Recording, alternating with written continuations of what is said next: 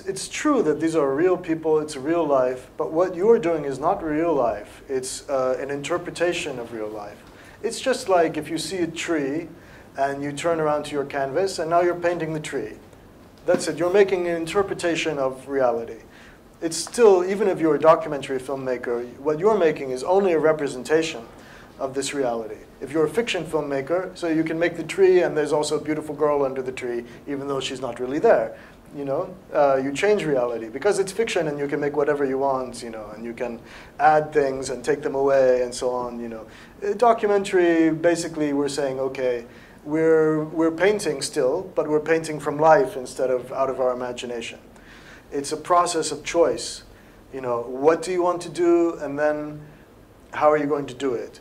yeah, you want to be open-minded, you're a documentary filmmaker, and reality, you're not controlling reality, but you do control certain things about how you show reality.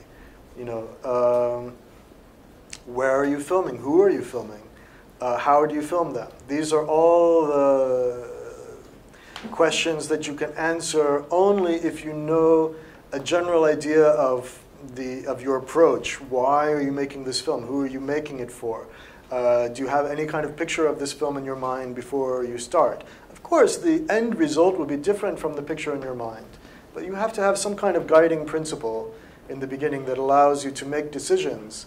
And sometimes reality will start to uh, decide things for you, or it will inspire you to make decisions in a particular way.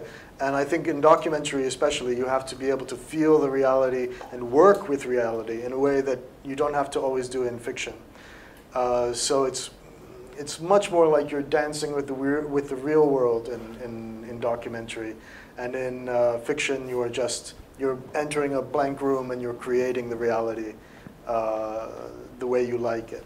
But uh, so the beauty of documentary is that you know as a way of life, like you are exploring the real world and opening your mind to things that you didn't think about before. Like in fiction film, you're limited to whatever is in your head in documentary, you're limited to whatever is in the world, you know. So uh, it is a good profession, like to, uh, if you want to just keep on learning about the world, keep on having new experiences, meeting new people, learning new ideas. Documentary really is the thing to do instead of fiction. But you're still making something. You're making this artifact. You're making this virtual experience for the viewer. And uh, whether or not people like your films, uh, whether or not the audiences uh, appreciate your work, it will usually be determined by how well you are able to craft this object, this virtual thing that you're going to see. You know, we're limited as human beings. We can only see the things that are around us, or the things that we see on television, or in a magazine, or on uh, in the cinema this is all we see of the world. You know, we can't know everything that happens in the world. And documentary film and film in general is just a way to expand your perception of the world. You know, to, uh, my audience is probably 99% uh, never going to go to Afghanistan, uh, but I can give them this experience. Uh, I can create an experience for the audience so that can be as close as possible as them actually going to Afghanistan, spending time in Afghanistan, learning about the society, being close to people in a way that you can't be as a tourist or someone who just comes for a few days to do business or something like that. My idea is to give the audience, to spend my own time, to give the audience um, a shortcut to, uh, to having an experience that it would take them years and years and a lot of time and effort to have that experience by themselves. My idea is to compress this experience of the real world into a form that the audience can absorb in 90 minutes, in two hours.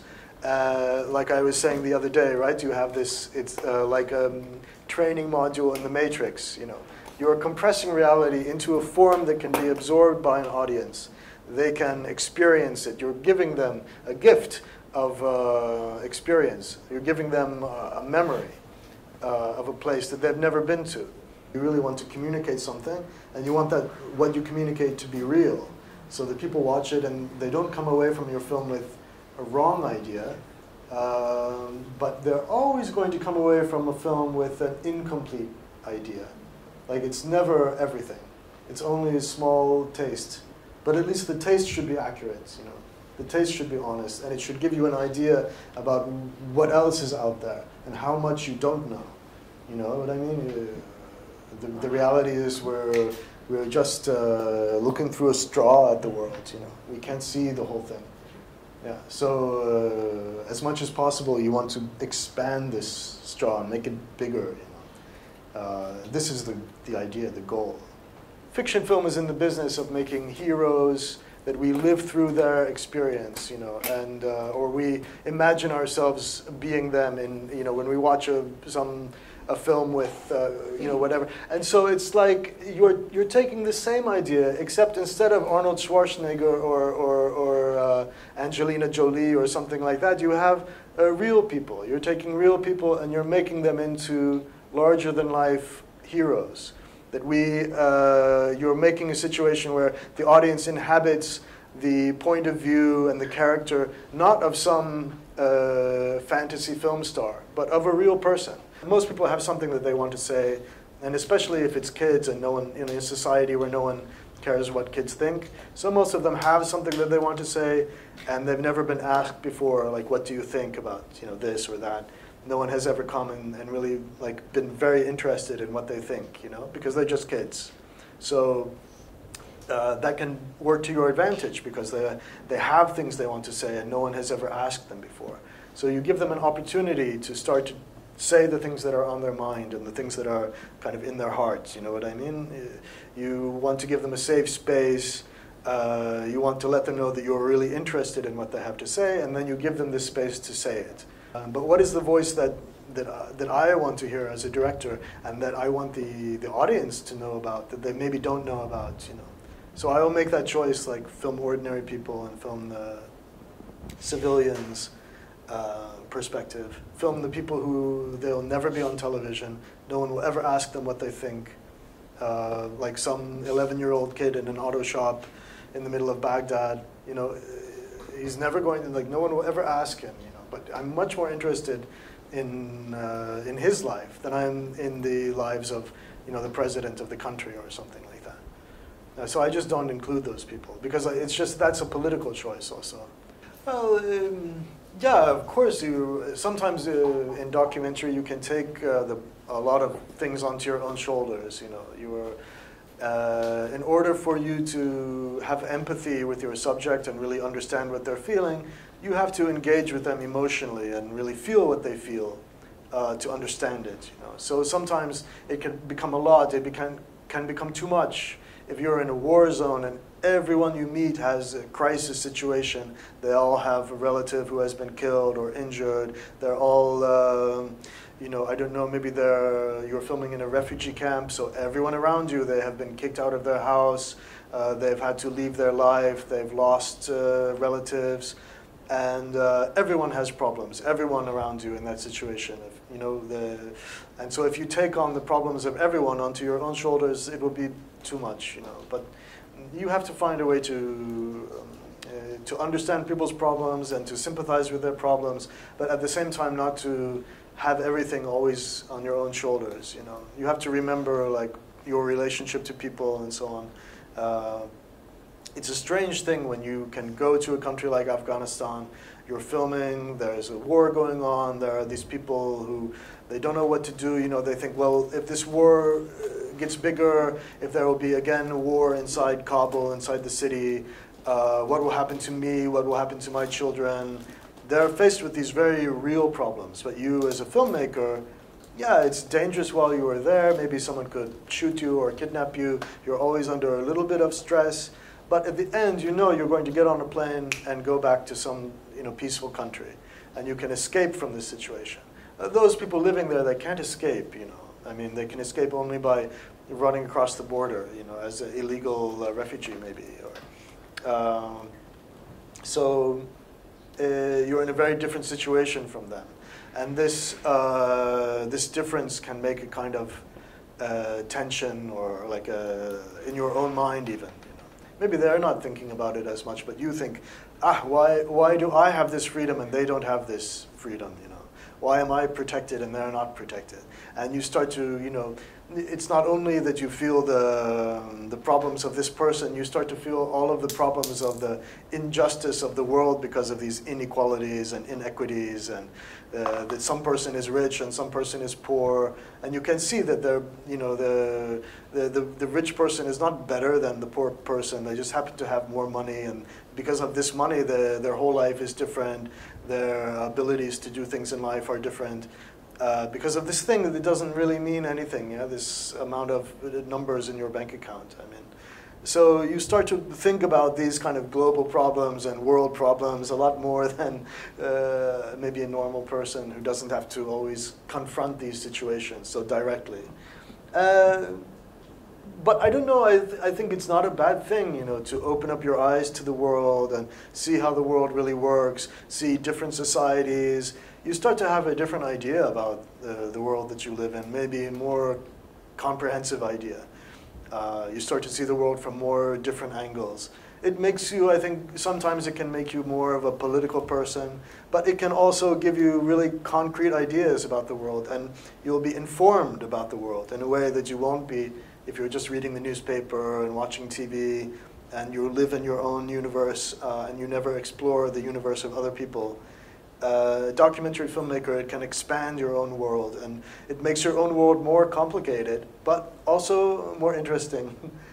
yeah, of course. I mean, I, I see the world differently. You know, uh, every every time you go to a new place, especially a place that you are afraid to go there, it's like you go over this uh, hurdle and then you're it, and then it becomes normal. Like you're afraid at first. You know, I was afraid to go to Iran. Well, I'm not really afraid to go to Iran, but like I was afraid to go to Pakistan. Like I thought, you know, it could be really dangerous. Pakistan, you know what I mean? And this is after being in Iraq and Gaza and everything. But it's like every time you go, there's this little fear and apprehension, and it's not clear like what you can do, what you can't do, and you have to become familiar with it. And when you're familiar, then nothing is uh, frightening. You know exactly what's happening. You know how to handle yourself. And, uh, and the same thing, Afghanistan. In the beginning, I was really afraid. You know, at the beginning, I came to Afghanistan. I used to carry a little knife around with me. I thought if I'm kidnapped, I need to be able to defend myself. Uh, and it was ridiculous. I mean, come on, like a little knife. What are you going to do with your little knife? You know, people come to take you with a machine gun. Uh, but it's like you're, you know, in the beginning you're afraid because it's not familiar. And then you're there, you get to know everything. Uh, then you start to feel like uh, everything is normal. You get used to, to a situation, no matter what the situation is. And now, you know, when I go back to the United States, the United States will seem like a foreign country to me. You know, because, and then I have to get used to it again. It's like that. You know. In the beginning, there's a road, like a, a speed bump, uh, and then you get over it, and then you're okay. Like the fear goes away even though your heart may be on one side only, you know what I mean?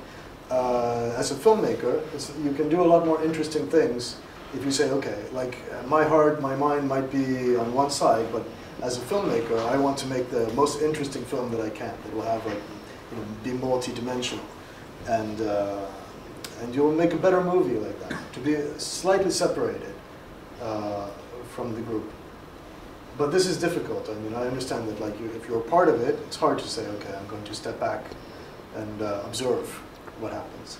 Like observe like uh, my own friends, my own uh, side in this conflict, say. Uh, you know, because sometimes like uh, from the outside also things look different and you know. All I mean is that as a documentary filmmaker, sometimes uh, the most interesting thing you can do is is step back a little bit from the group and observe the situation. And to really observe the situation, sometimes you have to be like, yeah, you're participating in it, but you're also an observer. Like you're standing back. Now you can't, you're not there to have conversations and like to uh, show your banner or whatever. You're there to, uh, to really record it, you know. And to do that, you're, you're not, once you're with the camera, you're in the situation, but you're also out of the situation. You know, you're, you're, you're looking at the world through this mediation of the lens, the screen, and you're doing it in order to do something, make a film. You know, and your job now, it's different. It's not the same as everyone else who's there without, uh, who is not making a film. You know, it puts you in a different situation. Uh, I'm not saying that you, like, mm, that you change your idea politically. No, you're the same person. But if your ambition is uh, to make a film, so you have to sort of uh, step back from uh, from yourself, you know, uh, from your personal desires somehow, and think, okay. Uh, how can I capture the situation in a way that it will be felt by an audience? So now you have a problem in your mind that you have to solve, which is completely different from the problems that the, the demonstrators, the ordinary demonstrators are have in their minds, you know, which is, you know, will the police come? I don't know, this, uh, they're trying, you know, expressing a particular political idea or something. But you as a filmmaker, suddenly your, your job is different. Your, the problem you're solving is, is not the same. You know, it's, uh, you're engaged in a craft, and your craft has a purpose, you know what I mean?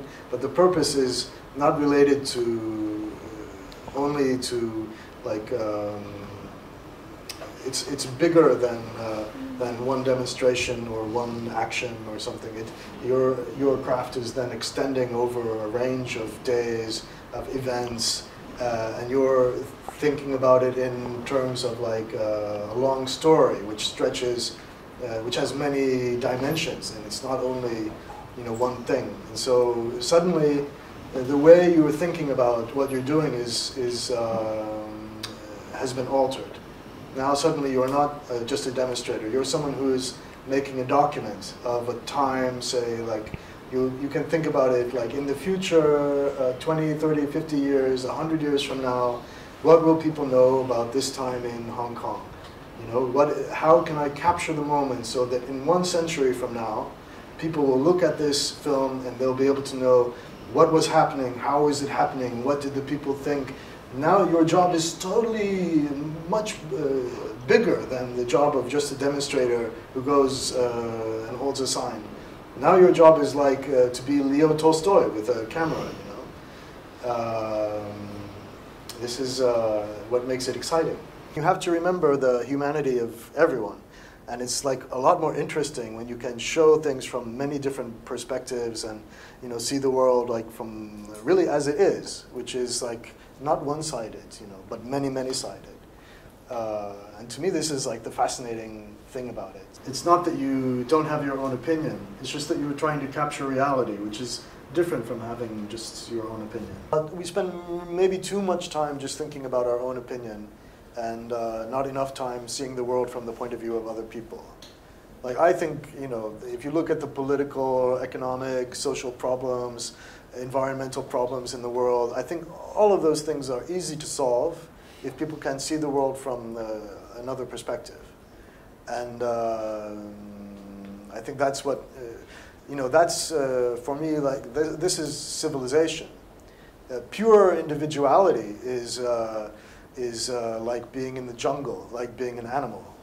Uh, civilization is empathy, you know. Uh, this is the thing that human beings have. Uh, we can have empathy and understanding not only for ourselves and our own family and our own group and our own tribe, but you can understand the, the whole world, actually, if you make an effort. Uh, and you can see the, the perspective of people who are completely, you would think, uh, completely unrelated to you and from a completely different background with different interests. Uh, you can also see their idea. And to me, this is the fascinating thing. I think the, the, the problems of the world can be addressed by, uh, through understanding, you know what I mean? Not by taking uh, only one position, but by trying to see the world as it is.